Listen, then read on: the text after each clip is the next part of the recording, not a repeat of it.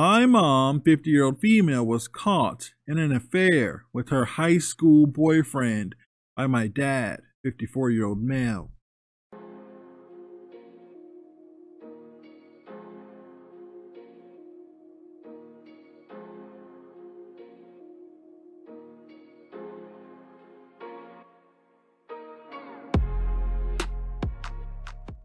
What's going on, everybody? Hope everybody's feeling good. Hope everybody's doing well. Story post, guys. I'll put this up on the screen if you want to check it out.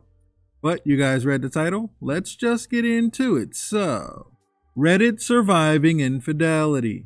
My family was torn apart by my mother's affair. Seeking advice, I guess. Reconciliation. Hey, all. I am not exactly sure where to begin with this post. I am a 21 year old male, and I grew up in what I considered to be a happy, loving family with no signs of unrest or happiness. But in August of 2020, my mom, 50 year old female, was caught in an affair with her high school boyfriend by my dad, 54 year old male. Two weeks later, he decided on a divorce. Good for dad. On August 18th, they told my little sister about the divorce on the drive to her first year at college, and I learned a few hours later at home. Two days later, I left for my second year of college. The whole experience was extremely traumatic, as I only had a couple of days to process everything before I left my childhood home of 17 years for the final time. They sold the house at the end of September, and I will likely never go back. My sister still hasn't spoken to my mom since August 19th, 2020. Wow. Dang. In the following months after the divorce, my dad moved to the town I live in for college, and I moved in with him. This might seem strange to some, but my dad and I have always been extremely close, and it felt like the obvious choice for both of our needs. I am incredibly thankful that this worked out the way it did. Today, he has recovered incredibly and seems content with life. My dad and I are closer than ever before, and I have no doubt that we'll remain so. We ski, bike together a few times a week. In the meantime, I've struggled tremendously to somehow repair my relationship with my mother. For the first couple of months, I would call her only to discuss the affair, and I would yell and ask extremely difficult questions to her about why she tore our lives apart, and especially, what did you think was going to happen? But my mom is a quiet and reserved person, and also has a strong tendency to paint herself as the victim in any confrontation, which has been incredibly stressful for me back then and now. She has a knack for saying, It doesn't matter. It already happened. In response to any of my attempts at closure or just honest communication between us, I'll talk about my sister and how she's still hurting from all this. My mom will respond with things like, Oh, so it's all my fault, then isn't it? I guess I should just go away forever since nobody cares about me. Obviously, you can't really understand and heal from an affair and divorce when the person you need to heal with responds in this way. I'm always pulling all the weight and doing all the talking in these conversations, and she just goes along with it. I still don't really even know why she chose to cheat on my dad, and all of our friends and extended family were shocked and devastated by the news of my family separation, as my parents never fought, never had any issues really, inside and out. I only mention this to emphasize how blindsided we all were by this happening. I still call my mom once or twice a week, and we mostly make small talk about anything but the terrible things that happened to us. During this time, I was also attending therapy through my school, and I learned quite a bit about myself, including that I am on the autism spectrum. I also learned mindfulness techniques and improved at not needing the why behind the actions of my mother. In some ways, my relationship with my mother improved because of this. At the least, my own mental health and ability to cope with my trauma and newly discovered ASD improved significantly.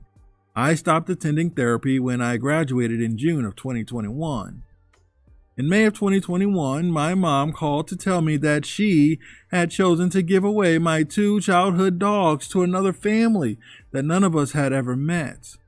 Of course, this was a devastating blow to my already incredibly strained relationship with my mom.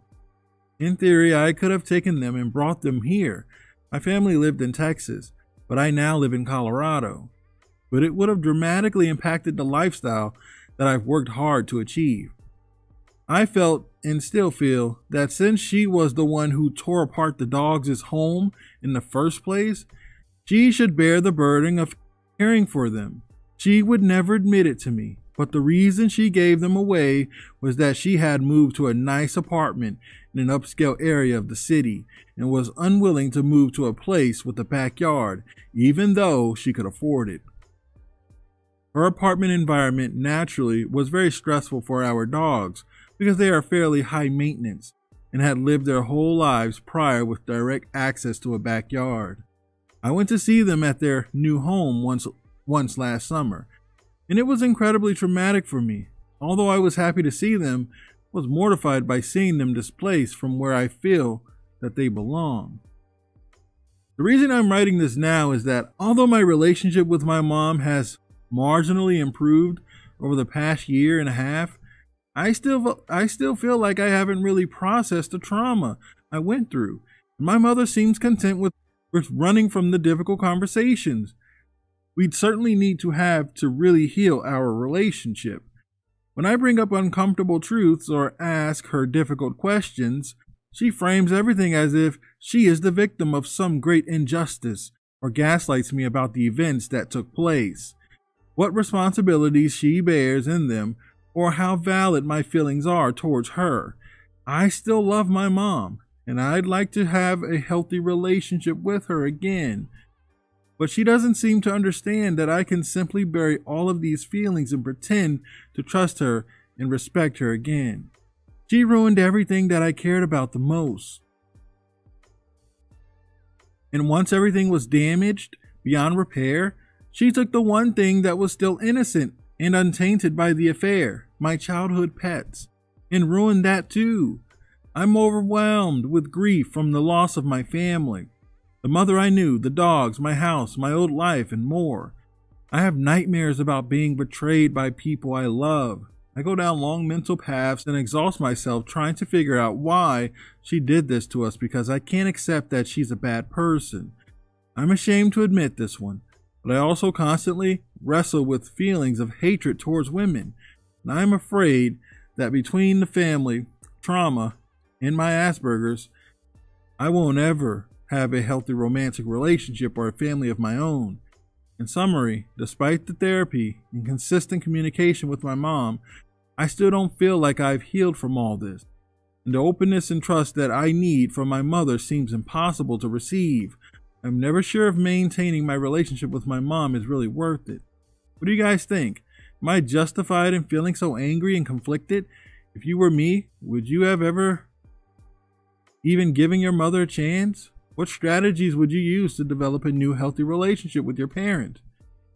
I do love her and I want to and I want to be close to her again somehow, but sometimes I think that that's an unrealistic goal.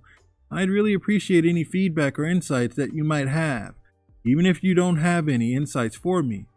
I've in a way enjoyed venting my thoughts about this through my keyboard.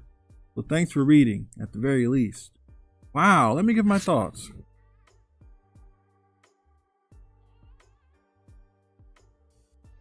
Man, I can I can say what I would do if I were in your shoes.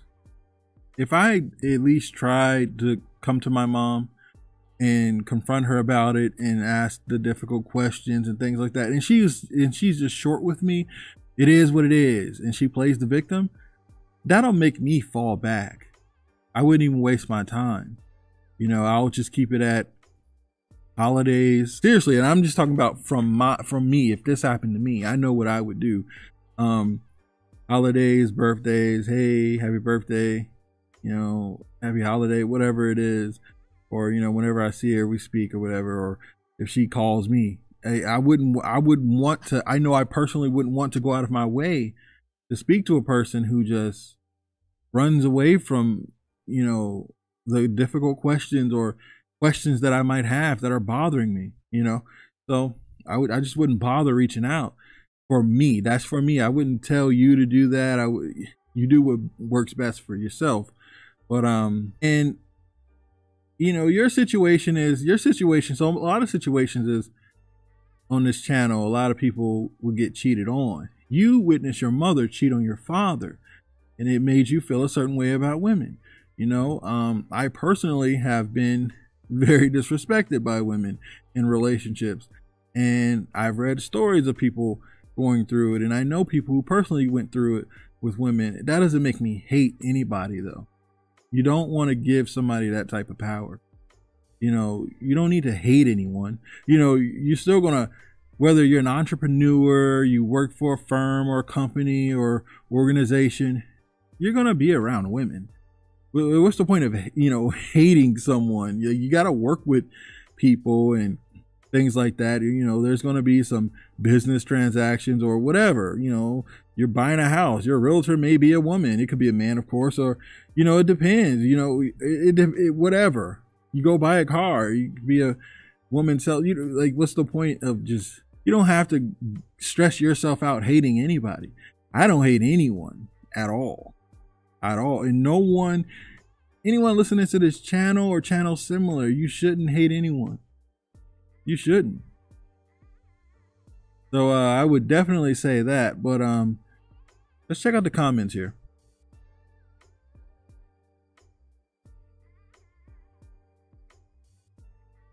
Someone said, I think you're wasting your time with your mother. If you didn't contact her, would she reach out to you? See, that's what I was saying. You realize your mother is the source of your hatred towards women, right? Combined with everything else. Your mother is severely mentally broken person. Lacks an ability to empathize with her actions. Here's OP. If I didn't contact her, I imagine she would text me, but never call me. Wow. I definitely couldn't consider her an abusive parent, despite what's happened. She was always a good mom to me. I don't think she's a bad person, just terribly misguided. Wow. Why not try no phone calls for a set period? Two months. See how it changes your perspective. Yeah? Bro, you are not understanding what your mom is doing mentally, torturing you. It's what we call abuse, and you can't see that until you have a good therapy. You sound like a very thoughtful and caring person. And I agree with you that love is complicated, but it's not complicated for your mother. She cheated and betrayed your father, tore apart your family, and gave away your dogs. Yeah, I'm I'm I'm also glad that your dad, he found out. He quickly said, "No, we're getting a divorce." Nope. Nope. He wasn't taking it. He wasn't about to sit, sit around and reconcile. He might have considered reconciling because if you guys were a lot younger, he probably would have. You know, um but he's like, "My kids are grown now. They understand. I'm out of here." So, I don't know. Guys, let me know what you think about this in the comments. I'll catch you guys at the next one.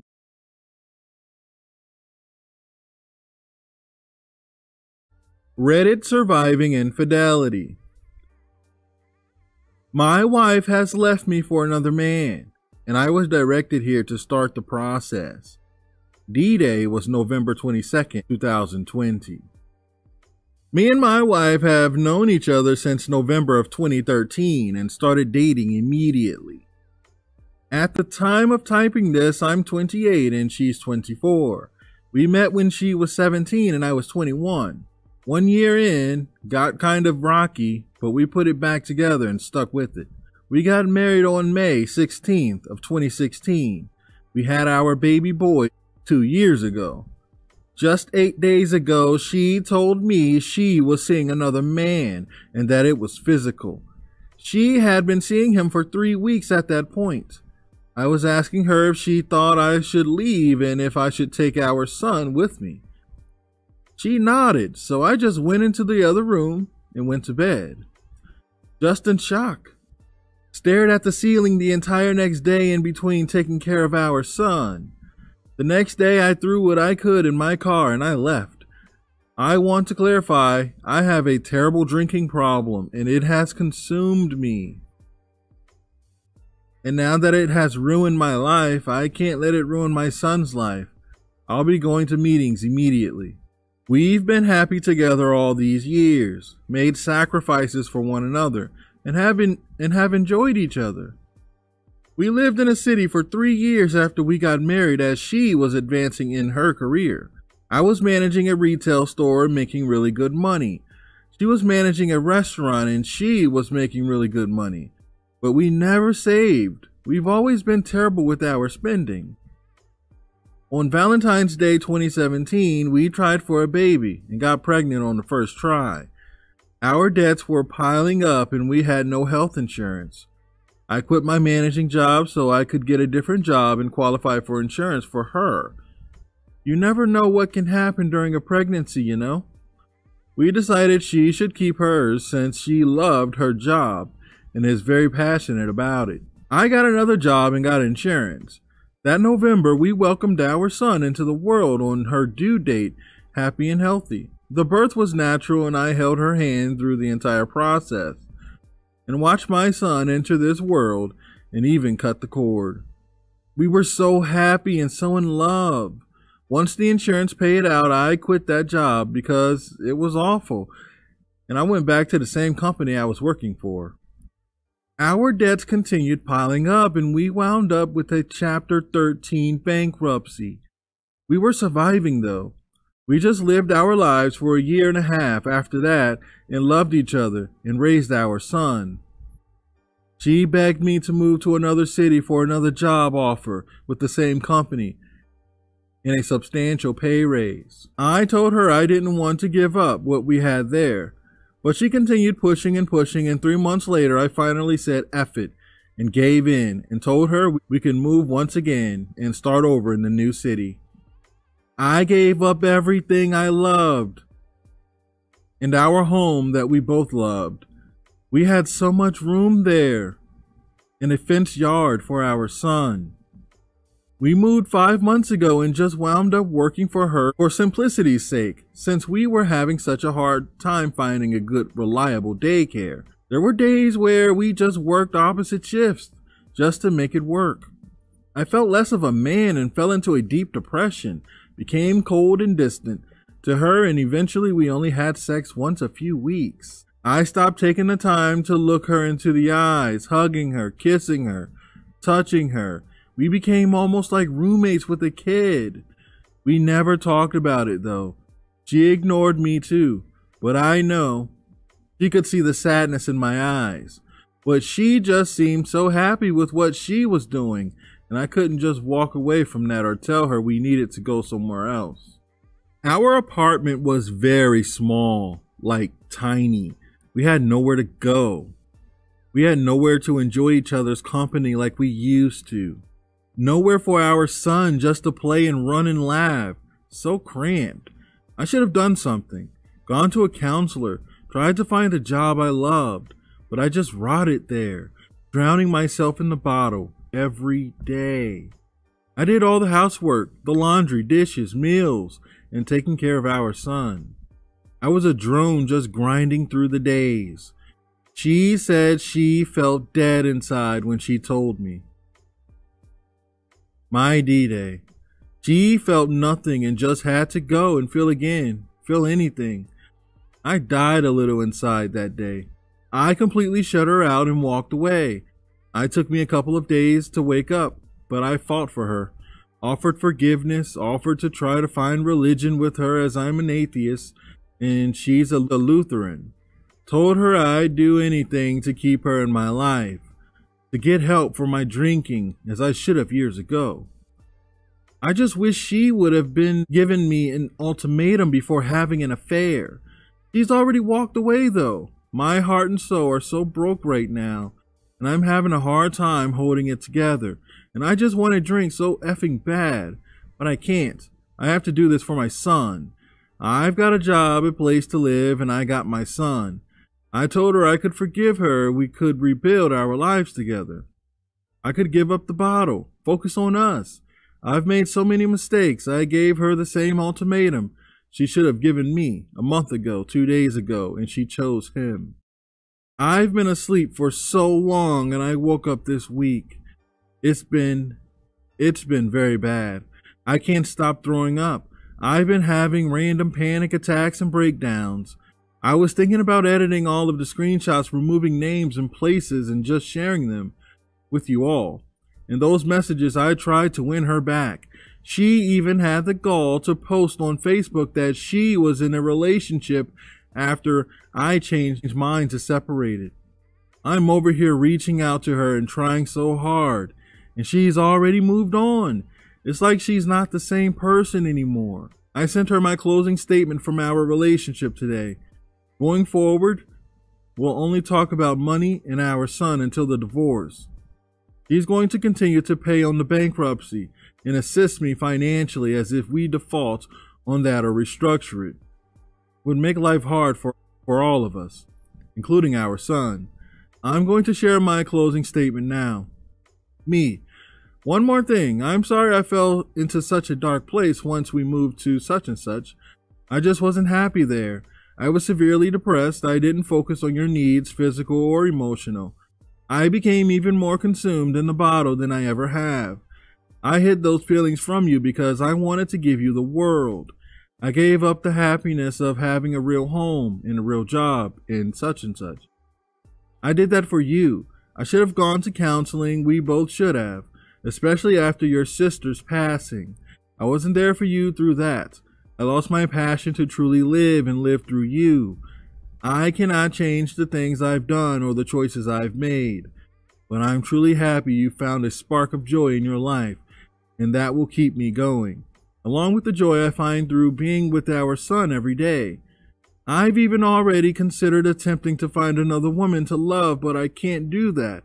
It won't be love, it will be empty. Won't help anything, and it's wrong and it's not fair to our son. I've hung all of our pictures here to remind me of the love we had when we truly loved each other, and I'll keep moving forward to make sure our son is loved, happy, and healthy. I'm going to find a counselor soon and just talk to someone. Her. We both lost a lot of who we were when we moved to such and such city. We became shells of ourselves and we let it take over everything. I'm sorry too that I didn't focus on your needs, your feelings, and your happiness. We both were living under a shadow and it ruined us. I really hope you do go and find someone to talk to, and I hope you really do stay away from, from alcohol. Our son is everything. I miss him so much. You have no idea. I'm so glad that he has you. I know he's in the best hands possible. Me. But I also want you to never forget there is no justifying the choices you made either and you can hate me for what for that and that's okay too. I want you to always remember that you gave up on us and our son. Yes yes you did. We did make a vow and you broke that vow.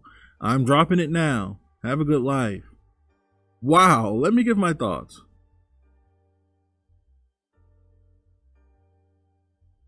Sir, you're you're absolutely correct. You guys said vows to each other in front of family, friends, you know, in the church probably, or maybe it wasn't the church, but you guys said vows to each other, you know, promised each other what you're going to do through thick and thin, for better or worse. Things got tough. You felt like you were, you had to make a tough decision. And, um, you did it. You moved when you didn't want to move, and you did it for her. You know, you did it for her, and look how she repays you. Things get tough for her, she leaves not only you, but her son. And if she, let's say you admit that you were bad with alcohol. She says she, she knows that you were bad with alcohol. She leaves your son with you. Like, she ran to this other guy, and that's all she cared about. Talk about being selfish. That's a selfish woman here. Disgusting, man. Let's check out these comments. I'm curious about these comments.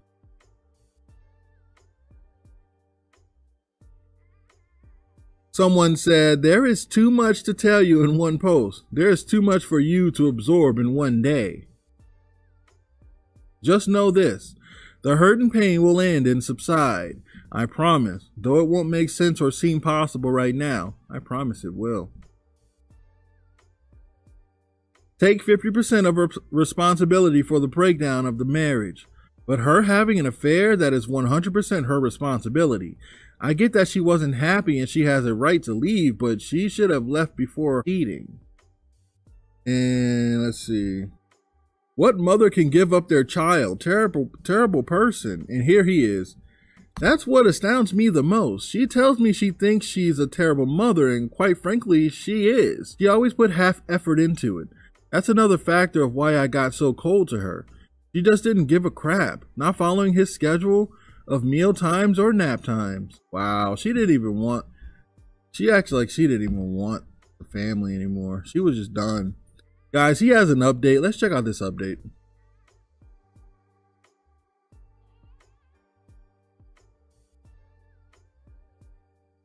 All right, guys, so we got another update here. Reddit surviving infidelity. Wanted to share with you all again. A lot has happened since my last post. Well, it's been five months since everything happened, and I can finally say I'm back to my old self. My drinking at this point is almost non existent. Nice. I landed a job as an IT technician back in January and work Monday through Friday, 8 to 5. Perfect for daycare while being a full time dad. So happy to finally leave my retail career behind. I did lose it for a while there in December, having my whole world turned upside down. The anxiety and constant feeling of dread. I drowned myself in liquor. I almost stopped eating entirely, lost 40 pounds, sleeping only for a few hours a day. I'm 5 foot 11 and I and was 180 and dipped all the way down to 140. Currently at 155 eating normally again. I really hit the fan about a month ago. My wife and the AP broke up and got back together numerous times through the months, but last month I got a random phone call from the AP as he found my number in her phone. He was going on about how she was lying to him about still talking to me. Obviously, we still talk. We have a child together.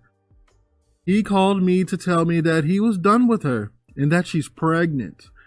He was asking me if it was mine. I was taken back by that. It's not. She finally tried to reconcile with me. I turned her away. For the first time in years, I feel like I can breathe make my own decisions. It was my wake up call to finally get the ball rolling and hire a lawyer. They got back together a few days after that, too. The whole situation is just obscene to me.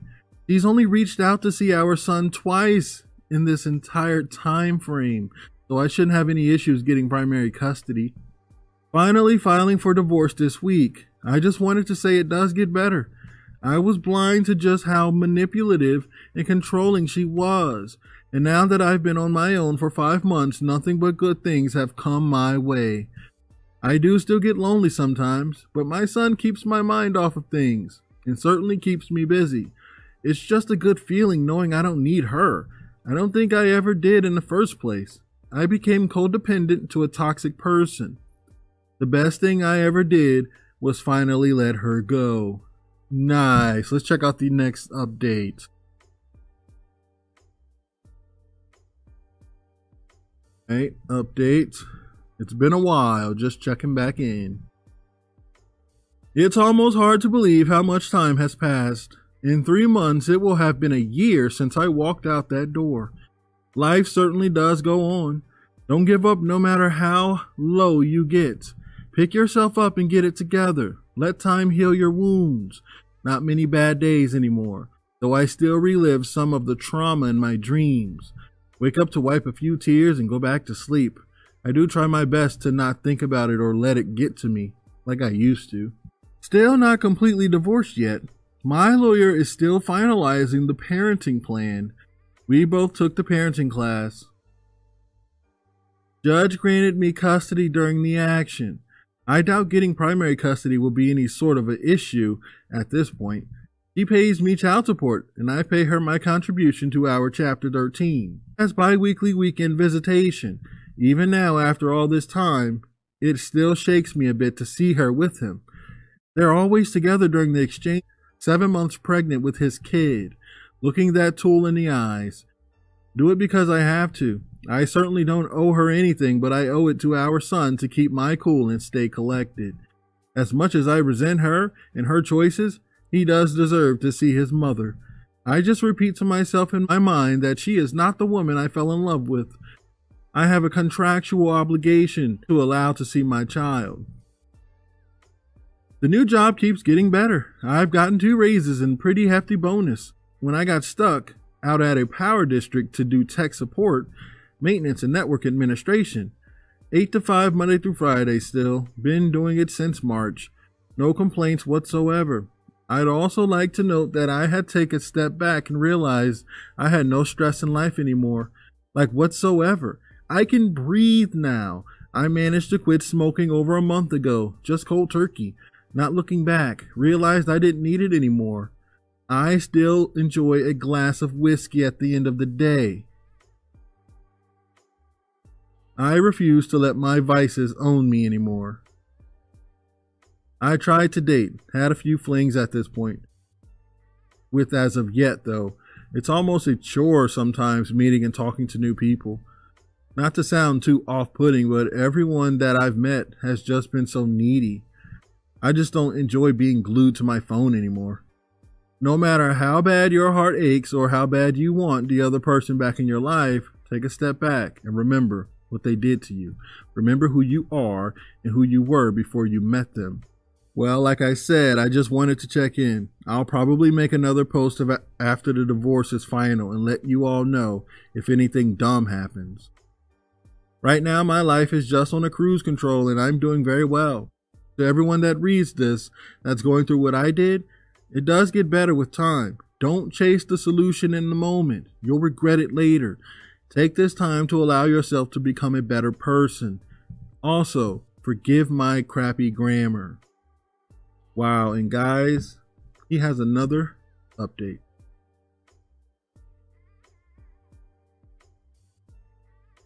All right, another update. Guys, believe it or not, I think this is him writing this all out is very therapeutic for him. It's so great to have spaces like this, man. It really is. Reddit surviving infidelity.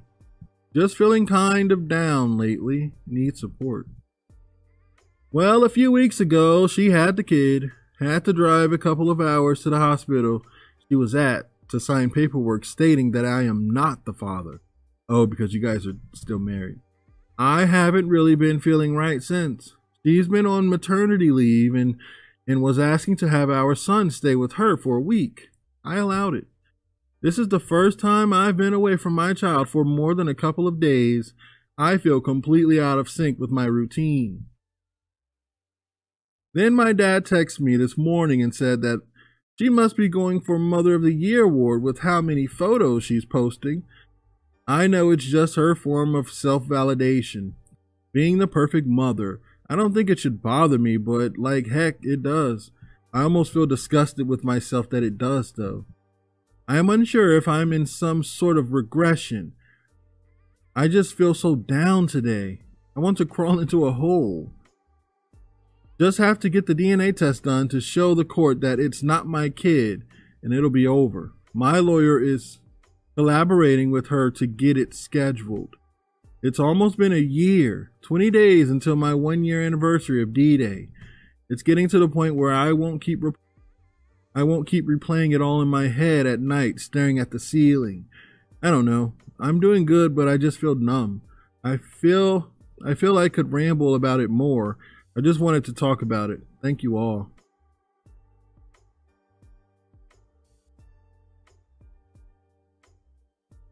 All right, Reddit surviving infidelity.